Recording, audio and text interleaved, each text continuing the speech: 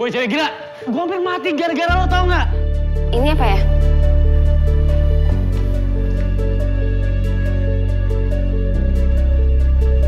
Kok jadi bersihin gudang sekolah, Bu? Gue ini nggak adil bu. Paling keberatan. Jangan dekat-dekat di situ. Ada tikusnya. Lo tuh jangan sama-samain gue.